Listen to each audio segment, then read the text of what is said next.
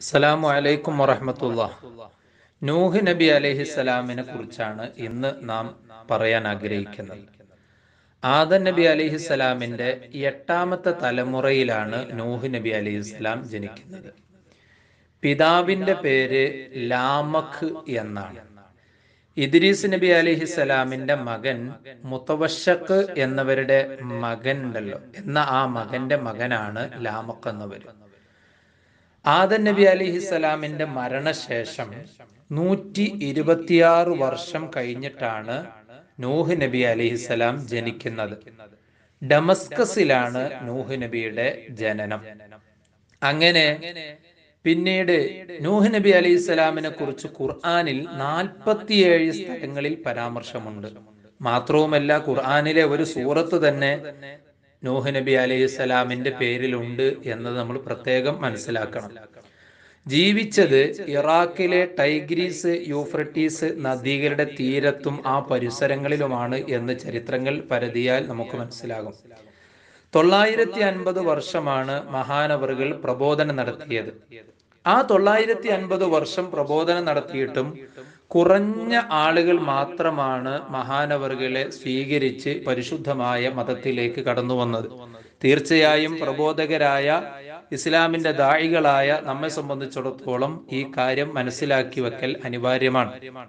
ഏതായിരുന്നാലും അവിശ്വാസികൾ പ്രളയ പ്രളയത്തോടുകൂടെയാണ് അവിശ്വാസികൾക്ക് നശിച്ചുപോയി. അതിന്റെ സാഹചര്യം നമുക്കറിയാം. അള്ളാഹു സുബാനുഹൂത്തായ സൂറത്തുൽ അങ്കബൂത്തിലൂടെ പറയുന്നു വലക്കത് അർസല്ല നൂഹൻ ഇലാ കൗമിഹി നൂഹ് നബിയെ ഞാൻ അവരുടെ ജനതയിലേക്ക് പറഞ്ഞയച്ചു. ഫലബിസ ഫീഹിം അൽഫസനത്തിൻ ആയിരം കൊല്ലം ഇല്ല ഹംസീന അമ്മ. ആയിരത്തിലേക്ക് ഒരു അൻപത് കുറവുള്ള തൊള്ളായിരത്തി അൻപത് കൊല്ലം അവരിൽ പ്രബോധനം നടത്തി. തൂഫാനു. അങ്ങനെ അവരിൽ ഒരു പ്രളയം വരികയും അങ്ങനെ വഹും വാലിമോൻ അക്രമികളൊക്കെ നശിക്കുകയും ചെയ്തു. ആ കപ്പലിൽ കയറിയിരുന്ന ആളുകൾ അഥവാ വിശ്വാസികൾ രക്ഷപ്പെട്ടു. അല്ലാവർത്തവർ നശിച്ചുപോയി ആലമീൻ. അത് ലോകത്തിനൊരു ദൃഷ്ടാന്തമാണ്. ഏതായാലും തൊള്ളായിരത്തി അൻപത് വർഷമാണ് നൂഹി നബി അലൈഹി സ്വലാം പ്രബോധനം നടത്തിയത് എന്ന് ഈ ആയത്തിൽ നിന്ന് നമുക്ക് മനസ്സിലാകും. എന്നാൽ നാൽപ്പതാമത്തെ വയസ്സിലാണ് നുപൂവത്ത് ലഭിക്കുന്നത്. പ്രളയത്തിന്റെ ശേഷം അറുപത് വർഷവും കൂടെ ജീവിച്ചിട്ടുണ്ട്. അപ്പോൾ നൂഹ് നബി അലൈഹി ഇസ്ലാമിന്റെ വയസ്സ് എത്രയാണ് ആയിരത്തി അൻപത് വയസ്സാണ് എന്നാണ് ചരിത്രത്തിൽ നിന്ന് നമുക്ക് മനസ്സിലാകുന്നത്. എന്നാൽ നൂഹ് നബി അലൈഹി സ്വലാം പ്രബോധനം നടത്തിയപ്പോൾ ഒരുപാട് വെല്ലുവിളികളെ നേരിടേണ്ടി വന്നു. അതിൽപ്പെട്ട ഒന്നാണ് നൂഹ് നബിയെ കുറിച്ച് അവർ പറഞ്ഞത് ഞങ്ങൾ നിങ്ങൾ അവിശ്വാസികൾ പറഞ്ഞത് നൂഹ് നബിയുടെ ജനതയിൽ ഉണ്ടായിരുന്ന അവിശ്വാസികൾ പറഞ്ഞു മാ നറാക ഇല്ല ബഷറം മിഥലന. ഞങ്ങളെ പോലെയുള്ള ഒരു മനുഷ്യനായിട്ട് മാത്രമേ നിങ്ങളെ ഞങ്ങൾ കാണുന്നുള്ളൂ എന്നാണ് അവർ പറഞ്ഞത്. അപ്പൊ സാധാരണ മനുഷ്യനാണ് എന്ന ഒരു കാര്യമാണ് അന്നത്തെ അവിശ്വാസികൾ ഉന്നയിച്ചത്. ഏതു ആകട്ടെ നൂഹ് നബി അലൈഹി സ്വലാം പ്രബോധനവുമായി മുന്നോട്ടു പോയി. അവർ വളരെയധികം പ്രയാസപ്പെടുത്തി അനുസരിച്ചില്ല കളിയാക്കി. അങ്ങനെ കളിയാക്കിയ സമയത്ത് ഖുർആൻ വളരെ വിശദമായി പറയുന്നു അങ്ങനെ കൗമിലേക്ക് പറഞ്ഞയക്കുകയും നൂഹ് നബി അലൈഹി സ്വലാം പറഞ്ഞു നിങ്ങൾ അള്ളഹാനെ ആരാധിക്കണം.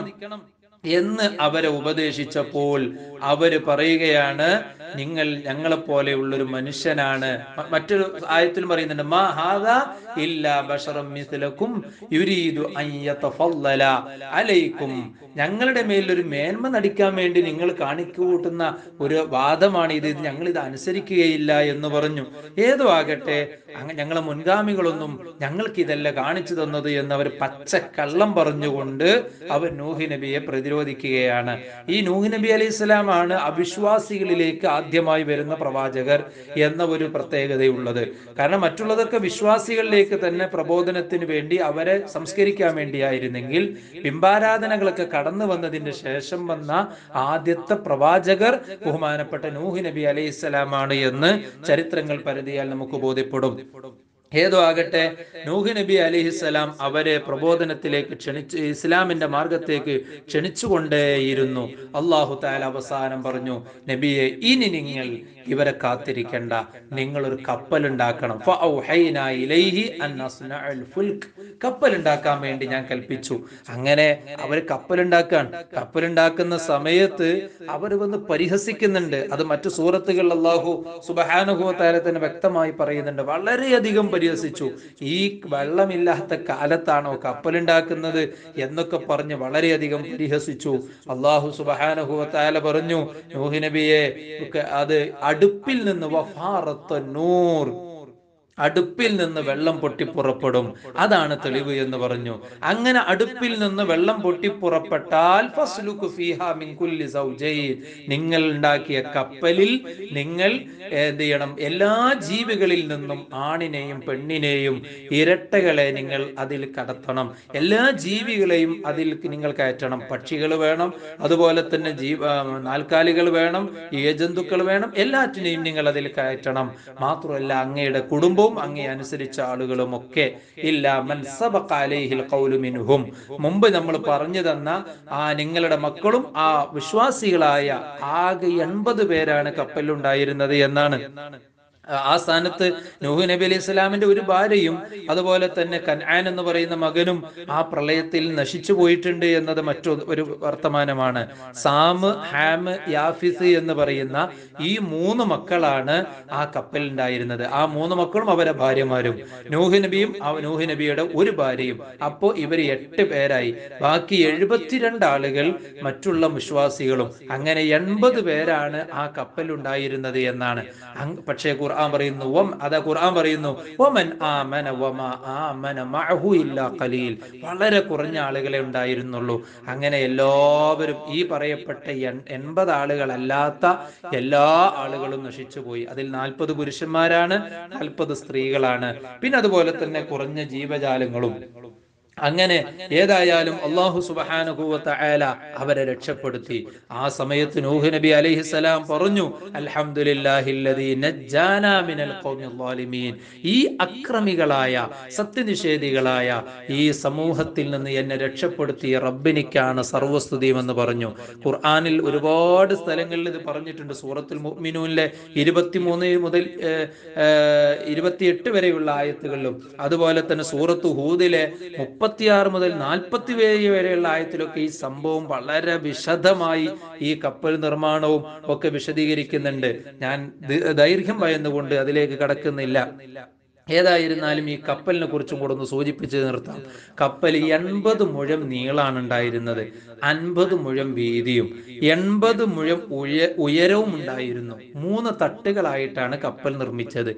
മുകളിലെ തട്ടിൽ പക്ഷികൾ അതുപോലത്തെ ഒക്കെ ജീവികളൊക്കെ അവിടെ ഉണ്ടായിരുന്നു. നടുവിൽ മനുഷ്യരാണ് ഉണ്ടായിരുന്നത്. ഈ പറയപ്പെട്ട എൺപത് ആളുകൾ. താഴെ തട്ടിലാണ് ഈയജന്തുക്കളൊക്കെ ഉണ്ടായിരുന്നത്. ആ കപ്പലുണ്ടാക്കിയ മരങ്ങളെ കുറിച്ച് പല അഭിപ്രായങ്ങളുണ്ട്. കൂട്ടത്തിൽ തേക്കിന്റെ മരം കൊണ്ടാണ് നിർമ്മിച്ചത് എന്ന അഭിപ്രായവും പറയപ്പെടുന്നുണ്ട്. ആ കപ്പൽ എവിടെയാണ് പോയി അടഞ്ഞത് എന്നാണ് അർമീനിയയിലെ അറാറാത്ത് എന്ന മലകളുടെ കൂട്ടത്തിൽ ഒരു മലയാണ് ജ്യോതി പർവതം. ആ പർവതത്തിലാണ് ഉള്ളത് എന്നാണ് ചരിത്രകാരന്മാരൊക്കെ രേഖപ്പെടുത്തിയത്. ഏതോ ആകട്ടെ ആ കപ്പലിലൂടെ അവർ രക്ഷപ്പെട്ടു. പിന്നീട് ലോകത്ത് വന്ന എല്ലാ മനുഷ്യരും നൂഹ് നബി അലൈഹിസ്സലാമിന്റെ സന്താന പരമ്പരയാണ്. ബാക്കി എഴുപത്തിരണ്ട് പേരുണ്ടെങ്കിലും അവരുടെ സന്താന പരമ്പര പിന്നീട് നിലനിന്നിട്ടില്ല എന്നാണ് ഖുർആാനിന്റെ വിശദീകരണത്തിൽ നമുക്ക് മനസ്സിലാകുന്നത്. സൂറത്തു സോഫാത്തിലെ എഴുപത്തി ഏഴാമത്തെ ആയത്ത് അള്ളാഹു പറയുന്നു ബഹുമാനപ്പെട്ട നൂഹ് നബി അലൈഹി സ്വലാമിന്റെ സന്താനങ്ങളാണ് പിന്നീട് ലോകത്ത് ശേഷിച്ചത് എന്നാണ്. അപ്പൊ ഇന്ന് ലോകത്തുള്ള എല്ലാ മനുഷ്യരുടെയും പിതാവ് ആദൻ നബിയാണ് എന്ന് പറയുന്നത് പോലെ തന്നെ നൂഹ് നബിയാണ് എന്നും പറയാൻ പറ്റും എന്നാണ് തഫ്സീറുകളിൽ പണ്ഡിതന്മാർ നമ്മെ വിശദീകരിച്ച് പഠിപ്പിച്ചു തന്നത്. എല്ലാ മനുഷ്യന്മാരും നൂഹ് നബിയുടെ സന്താന പരമ്പരയാണ്. അങ്ങനെ നൂഹ് നബി അലൈഹി സ്വലാമിന് മൂന്ന് മക്കളാണല്ലോ ശേഷിച്ചത്. ഒന്ന് സാമ്. അതാണ് അറബികളുടെ ഒക്കെ പിതാവ് എന്ന് അറിയപ്പെടുന്നത് സാമ് അഥവാ സാം എന്നവരുടെ സന്താന പരമ്പരയാണ് എല്ലാ നബിമാരും. ഇബ്രാഹിം നബി അലൈഹി സ്വലാം സാം എന്നവരുടെ സന്താന പരമ്പരയിലാണ് ഉണ്ടാകുന്നത്. അബുൽ അംബിയ എന്നാണ് ഇബ്രാഹിം നബിയുടെ പേര്. ഇൻഷാല്ല നമുക്ക് ഇബ്രാഹിം നബിയെ കുറിച്ച് വിശദീകരിക്കുമ്പോൾ പറയാം. അപ്പോ സാം എന്നവരാണ് അറബികളുടെ പിതാവായി അറിയപ്പെടുന്നത്. ഒരു പക്ഷേ വെളുത്ത വർദ്ധകം എന്ന് പറയുന്ന പറയപ്പെടുന്നതും സാമ എന്നവരുടെ സന്താന പരമ്പരയെ കുറിച്ചാണ് എന്ന് നമുക്ക് ചരിത്രത്തിൽ കാണാൻ കഴിയുന്നുണ്ട്. സെമിറ്റിക് എന്ന വാക്ക് സാമബിന് നോഹ് എന്ന വാക്കിൽ നിന്ന് ഉണ്ടായതാണ്. എന്ന് നമുക്ക് പലയിടത്തും വായിക്കാൻ കഴിയും. അതുപോലെ തന്നെ അറബികളും പേർഷ്യക്കാരും ഒക്കെ റോമും ഒക്കെ അങ്ങനെയാണ്. ഈ പറയപ്പെട്ട അറബികൾ അതുപോലെ തന്നെ പാശ്ചാത്യൻ ഭാഗങ്ങളാണ് പേർഷ്യ റോം പോലെയുള്ള അതൊക്കെ അതൊക്കെ സാം എന്നവരുടെ മക്കളാണ്. അഥവാ വെളുത്തുവർഗം എന്ന് പറയപ്പെടും. ഹാം എന്നവരാണ് സൂദാൻകാരെ അഥവാ സുഡാൻ കറുത്തവർഗം എന്ന് പറയപ്പെടുന്നത്. ഈ ഇന്ത്യ ഇന്ത്യ ഒക്കെ സഹാമ എന്നവരുടെ മക്കളെ കൂട്ടത്തിലാണ് എന്ന് കാണാൻ കാണാൻ കഴിയുന്നുണ്ട് അതുപോലെ തന്നെ യാഫിസി എന്നവര് തുർക്കികളുടെ ഒക്കെ പരമ്പര യാഫിസി എന്നവരിലേക്കാണ് ചെന്നുമുട്ടുന്നത് എന്നാണ്. ഏതായാലും ലോകത്തുള്ള എല്ലാ ജനങ്ങളും നൂഹ് നബി അലൈഹി സ്വലാമിന്റെ സന്താന പരമ്പരയിൽപ്പെട്ടവരാണ് എന്ന് നമുക്ക് കാണാൻ കഴിയും. അമ്പിയാക്കളൊക്കെ സാമ് ബിൻ നോഹ് സാമ് എന്നവരുടെ സന്താന പരമ്പരയിലുള്ളവരാണ് ഇബ്രാഹിം നബി അലൈഹി സ്വലാം ആ പരമ്പരയിലാണ് വന്നത്. പ്രിയപ്പെട്ടവരെ നാം പറഞ്ഞു വരുന്നത് ബഹുമാനപ്പെട്ട നൂഹ് നബി അലൈഹി സ്വലാം ഒരുപാട് വിശദീകരണങ്ങൾ ആവശ്യമുണ്ട് കപ്പൽ നിർമ്മാണത്തിന്റെ മറ്റൊക്കെ വിഷയത്തിൽ. ഞാൻ അതിലേക്കൊന്നും ഇപ്പൊ കടക്കുന്നില്ല. ചെറിയ ഒരു വിവരണമാണ് നാം ഇതുകൊണ്ട് ഉദ്ദേശിക്കുന്നത്. കൂടുതൽ പഠിക്കാൻ ഇത് നമുക്ക് പ്രചോദനമേകട്ടെ. നമുക്ക് കപ്പൽ നിർമ്മാണം എന്ന് പറയുന്നത് നമുക്കറിയാം. അത് ഒരു പ്രവാചകർ അതിന് നേതൃത്വം കൊടുക്കുന്ന ഒരു കപ്പൽ നിർമ്മിക്കുക എന്ന് പറയുമ്പോൾ ഒരു സാധാരണ ആശാരികളെ കൊണ്ടൊന്നും സാധിക്കുന്ന ഒന്നല്ല. അപ്പോ ജീവിതത്തിന് ആവശ്യമായ എന്തെല്ലാം ടെക്നോളജികളുണ്ടോ അതെല്ലാം കണ്ടെത്തുന്നതിൽ അമ്പിയാക്കളും അതുപോലെ തന്നെ മുൻഗാമികളായ ആളുകളൊക്കെ അതിൽ മുന്നിലായിരുന്നു എന്നത് ഇതിൽ നമുക്ക് കിട്ടുന്ന ഒരു പാഠമാണ്. അപ്പൊ നാമും നമ്മുടെ ജീവിതത്തിൽ ഒരുപാട് വസ്തുക്കൾ ഉണ്ടാക്കാനും അള്ളാഹു താല നമുക്ക് തന്ന കഴിവുകളെ നല്ല നിലയ്ക്ക് വിനിയോഗിക്കാനും ഒക്കെ സമയം കണ്ടെത്തണം പഠിക്കുന്ന വിദ്യാർത്ഥികൾ ഇതിൽ നിന്ന് പ്രചോദനം ഉൾക്കൊണ്ടുകൊണ്ട് ഇത്തരം മേഖലകളിലൊക്കെ ചിന്തകളെത്താനും അതൊക്കെ നമ്മുടെ പൂർവീകരെ തന്നെ നമുക്ക് കാണിച്ചു തന്നതാണ് എന്ന് മനസ്സിലാക്കാനും ഒക്കെ ശ്രമിക്കണമെന്ന് ഓർമ്മപ്പെടുത്തി എല്ലാവരും ദ്വായ ചെയ്യണം. എന്നെയും എന്റെ കുടുംബത്തെയും അതുപോലെ തന്നെ ഇതിനു വേണ്ടി പ്രവർത്തിക്കുന്ന മജുമായിലെ വിദ്യാർത്ഥികളെയും പൂർവ വിദ്യാർത്ഥികളെയും എല്ലാവരെയും ദ്വായയിൽ ഉൾപ്പെടുത്തണമെന്ന് വസീയത്ത് ചെയ്തുകൊണ്ട് നിർത്തുന്നു. അസ്സാം വലൈക്കും വറഹമത്തല്ലാഹി വബർക്കാത്തു